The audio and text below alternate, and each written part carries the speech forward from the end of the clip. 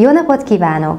Nemrég ünnepelte, pontosabban 2012. december 16-án 75. születésnapját Kárpátalja egyik híres festőművésze, Harangozó Miklós. Ez alkalomból a Kárpátai Magyar Művelődési Intézet szervezésében az Európa Magyar Ház Munkácsi Mihály kiállítótermében Beregszázban, illetve a Nagyszőlősi Perényi Kastélyban került sor a festőművész jubileumi kiállítására. A salánki születésű harangozó Miklós neve ismerősen cseng a művészetet kedvelők körében.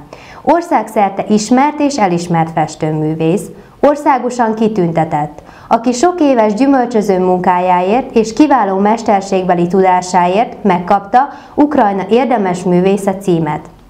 Évtizedek óta részt vesz területi, országos és külföldi kiállításokon. Nevét olvashatjuk a Magyar Festők és Grafikusok lexikonjában és a Kortárs Magyar Művészeti Lexikonban.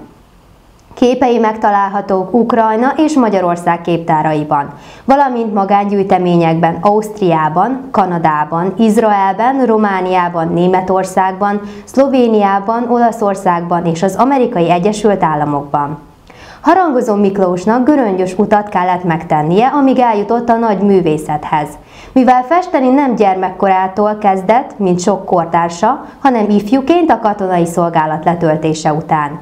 Talán ennek tudható be, hogy szunnyadó alkotói és művészeti tehetsége hirtelen lobbant fel és gyorsan fejlődött.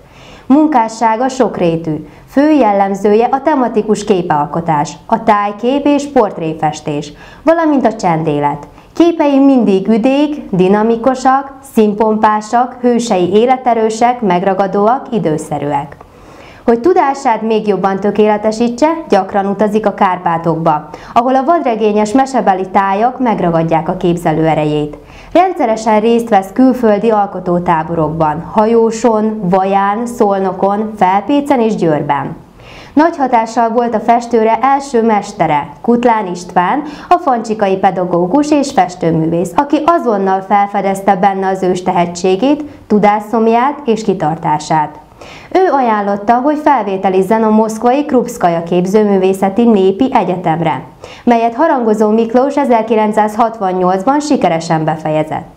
Fejlődésében sok segítséget nyújtottak neki a kárpátaljai festőművészek. Glück Gábor, Boksai József, Kassai Antal, Kocka András, Soltész Zoltán, Petki Sándor és végül, de nem utolsó sorban Horváth Anna. Az ő ösztönzésükre kezdte el ábrázolni szülőföldjének tájait, dolgozó embereit, képeinek fő témái a kárpátaljai falvak, szülőföldjének szép tájai.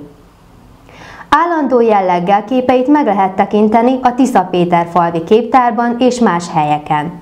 A mai alkalommal megismertettük Önöket Harangozó Miklós munkásságával és életútjával. Köszönöm a figyelmüket, viszontlátásra!